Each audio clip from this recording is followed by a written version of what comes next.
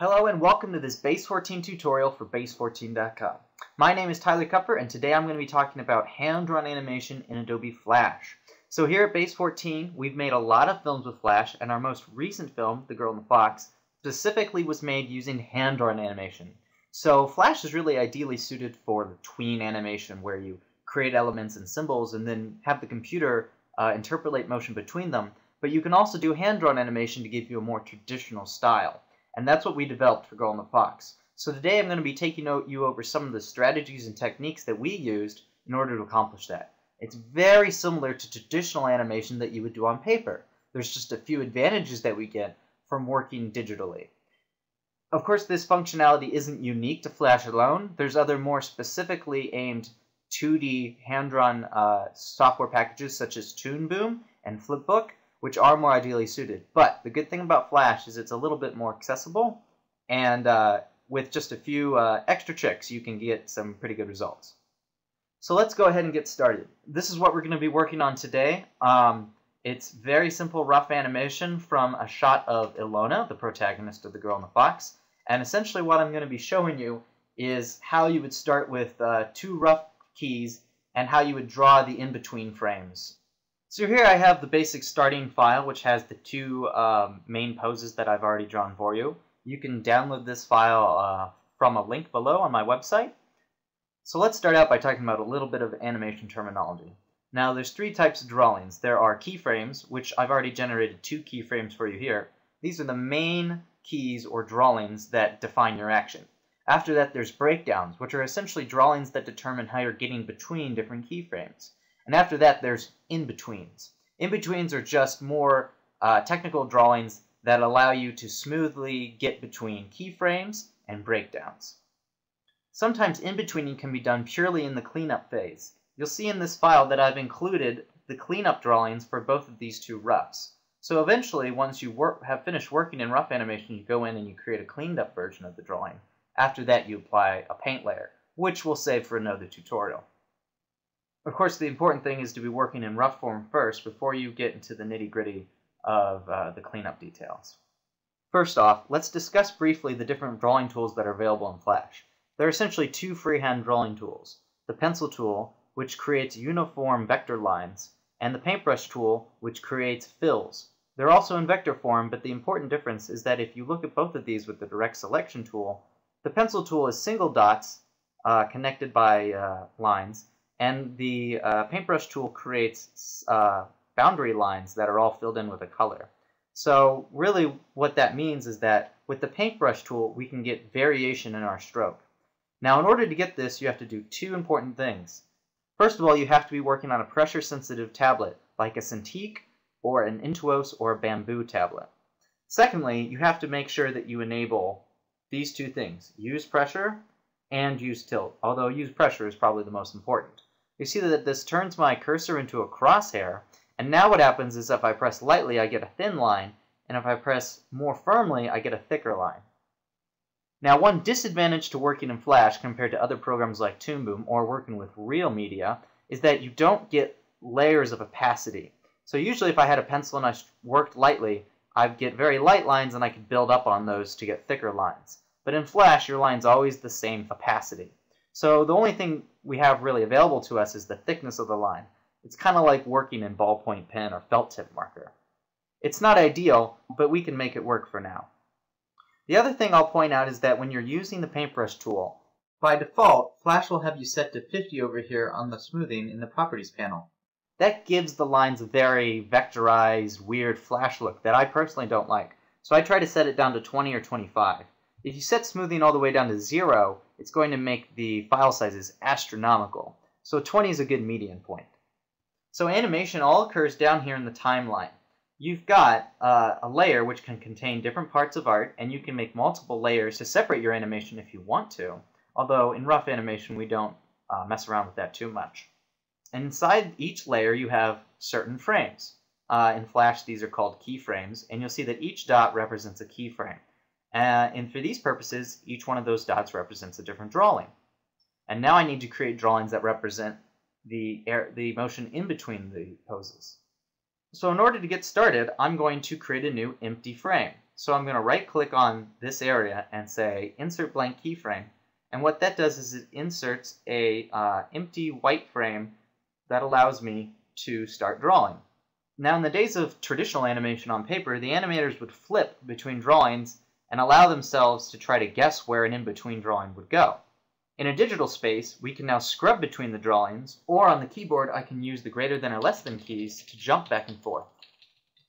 So what I want to do next is I want to scrub back and forth to try to get a good idea of where the motion is, and then as I do this I try to keep sort of a visual uh, memory to uh, allow me to draw the next drawing. So once I've scrubbed it enough, I can start kind of to take a guess at where that head will be. Again, this is rough animation. So a lot of what you're doing is trying to feel out the emotion and uh, gesture of the animation as it moves. You don't have to be too concerned about getting a super accurate technical drawing. What you're doing is you're scrubbing back and forth and trying to feel out the motion. This is very different from uh, when we get down into more specific in-betweening, where we will be technically just making drawings that average themselves between uh, the other drawings that have already been made.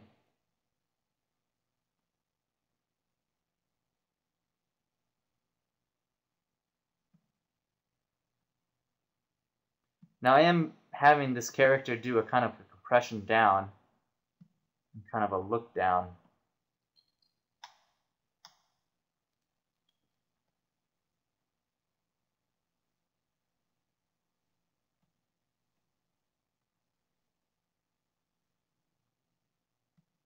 Now for the purposes of this tutorial, I apologize I won't be doing my very best animation, but you'll get the general idea.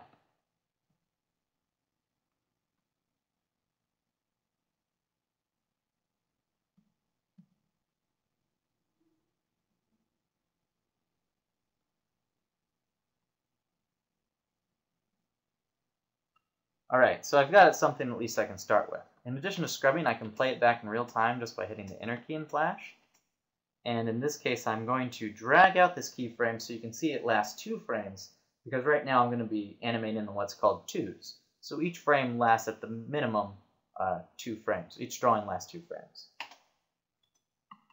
So this at least gives me a good idea for how she's moving between these two. So this is what's considered my breakdown.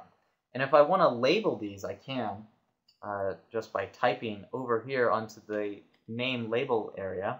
And I can give this a B additionally for breakdown.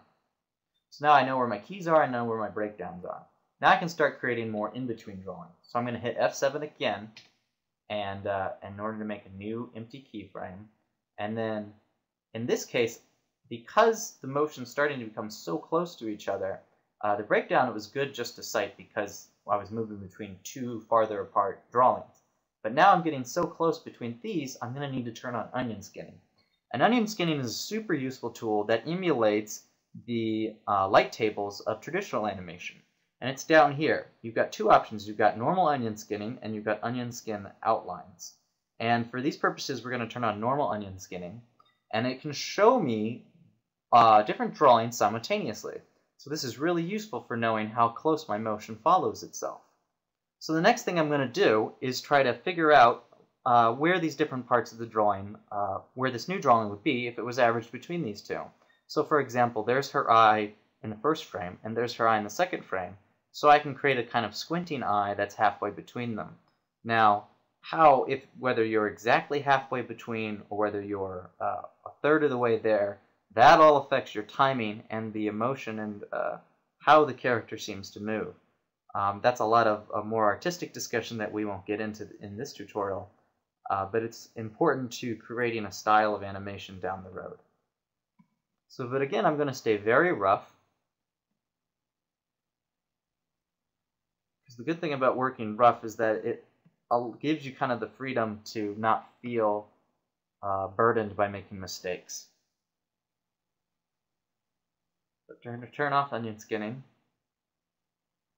I can kind of see that I have uh, a little bit smoother motion there. Now let's go ahead and add another breakdown here. I'm sorry, not a breakdown, a uh, in between. Turn on onion skinning again and look at the approximation of these two frames.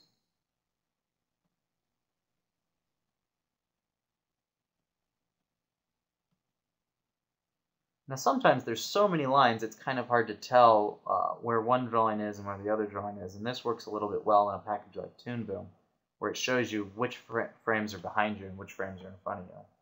And at this point, this is where it's important to start watching the motion, and specifically seeing how certain features move. Like I can see uh, how her hairline should be moving so the important thing about using onion skinning at this stage is it kind of gives me a starting point for the base geometry. And then as I scrub back and forth, I can fill other features in more accurately. Like I can see that I drew her mouth not very well here, so I can correct that. Now the other thing we want to be uh, working on here is the timing specifically. So while I'm also scrubbing, I also want to be playing it back to see how this action is taking place. So if I wanted to, for example, have a slower start, I can add another breakdown by selecting all these keys and moving them over, and again pressing F7 to get a new empty drawing. I'm sorry, not another breakdown. I can add another keyframe here and make this start even slower.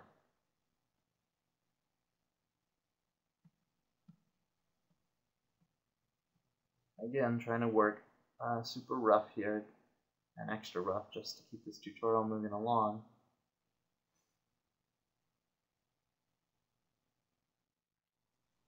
But you can see that even though these drawings are pretty rough, I can still see the motion, which is the most important thing at this stage, to understand how the character is moving and how it's being timed.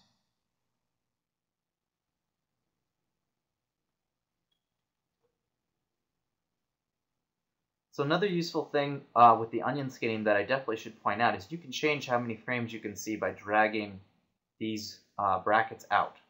So I can see the whole animation if I want to and how she moves through this, or I can limit it all the way down to just the frames outside of me.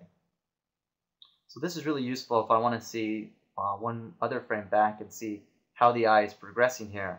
I can see that there, then it's here, and then it's here, and then it's here.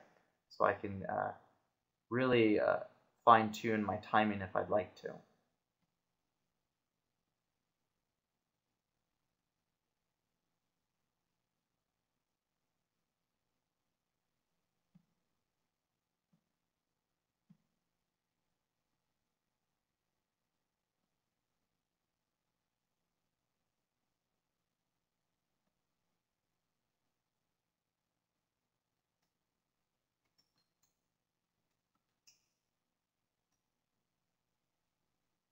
Another useful feature of working in the digital world is you can duplicate frames and use those as uh, base drawings. So I'm going to delete this because it's not a key anymore.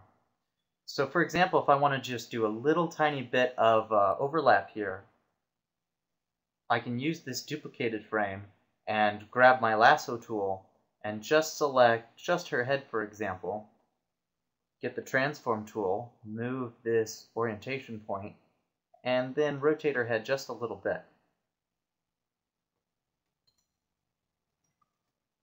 And so these are ways of quickly uh, doing rough animation that tries to give you a better idea of um, minute changes in motion. And the good news is about this, while this looks a little bad in rough animation because we can see how the body is not changing, when we come back in and do cleanup for this, the cleanup will be forced to draw every frame individually. So there's a lot of cheats we can take in rough animation just in order to keep the process moving along and to experiment. And then cleanup is really where the quality comes in. So once you're done with rough animation and the motion all looks good to you, the next step would be to clean up your drawings. Now an essential step in this is making sure that your drawings are on model. For that, in our productions we use model sheets, which show us exactly how to draw the different details of the characters and features and what proportions the character has. Uh, this is always important in any professional production to make sure that when you're working across several artists, everything looks like it's consistent. In this example, I've provided for you two uh, cleaned up frames already, and I'm just going to show you really quickly how I would uh, do that sort of cleanup drawing. So I'm going to unlock the cleanup area and lock the rough animation area, although keep it visible because that's what I'm going to use and I'll go ahead and delete this frame so that we can work from it again. I'm going to change my paint color to black because that's what I use for cleanup. And then I'm going to uh, make the rough animation uh, an outline form so I can see my lines a little bit better. And I'm going to zoom in here because when you're working in cleanup, the quality of your line begins to matter a lot more than rough animation. So working zoomed in is more important, where rough animation, it's more important to work zoomed out so that you can overall see how your character is moving within the space. Now I'm going to start by doing my cleanup, just trying to work on the eyes and work on the facial features, and I'm going to be working a lot slower than I would be in the rough process. Because again, the rough process is about the motion, and cleanup is about the quality of the line and the design of the character. So as I work here, I'm kind of trying to approximate how the animator was working with the drawing. I don't have a specific line because now it becomes my job to try, try to decide where that final line is based on the drawing of the animator.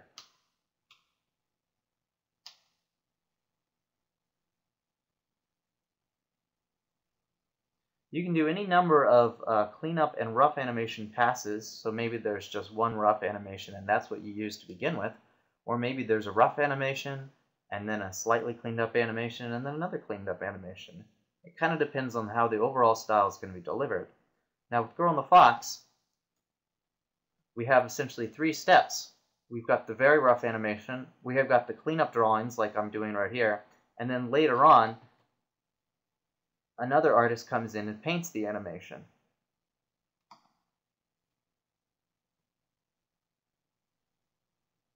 Of course, an important aspect with cleanup is making sure that your strokes are clear and smooth.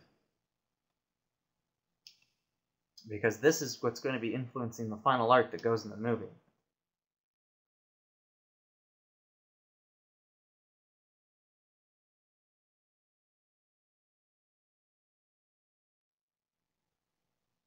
Sometimes they even have to add in details, like the separation between the arm and the, and the chest here.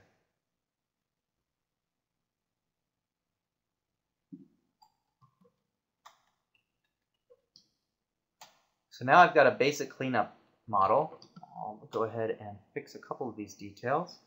Don't ever be afraid to use the eraser where you might need it. And now I can turn off my rough animation layer and check how that looks. Not bad. The one thing I've forgotten is our eyebrows, so I'll go ahead and add those back in. Always make sure you're working on the right layer.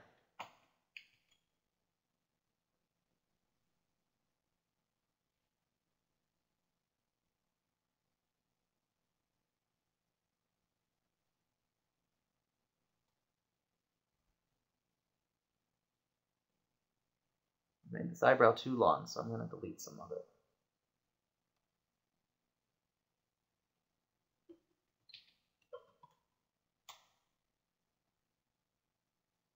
Nice. So obviously you would repeat this process over and over again as much as you need. And again, sometimes if you want really precise in-between drawings, you should just be doing that in the cleanup phase instead of in the rough animation phase. Because when you get really close, it's essentially a matter of averaging the lines between. Well, hopefully this tutorial has been helpful in teaching you a little bit about how we accomplished our animation for the girl and the fox. Some of it was also done in Toon Boom, but using primarily the same process. You can always check out more tutorials on our YouTube channel, and until next time, I'm Tyler Kupfer, and thanks for watching.